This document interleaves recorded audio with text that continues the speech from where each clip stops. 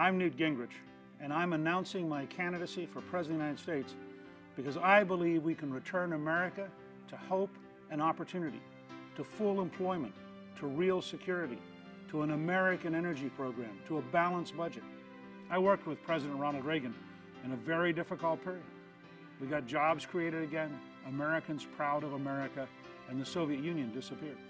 As Speaker of the House, I worked to reform welfare, to balance the budget, to control spending, to cut taxes to create economic growth.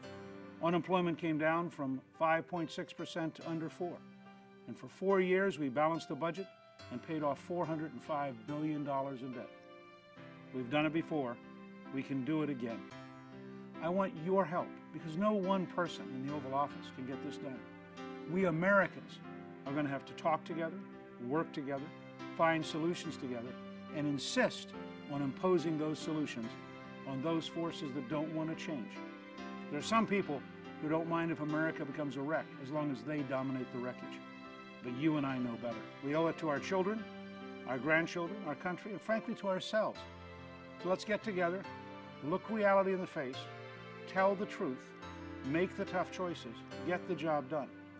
There's a much better American future ahead with more jobs, more prosperity, a better health system, longer lives, greater independent living, in a country that is decentralized under the 10th Amendment, with power once again back with the American people and away from the Washington bureaucracy.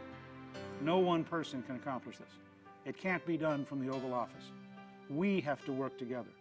We Americans have to get it done. I hope you'll decide to join me. Let's work side by side. Let's get this done for ourselves, our children and grandchildren, and for our country.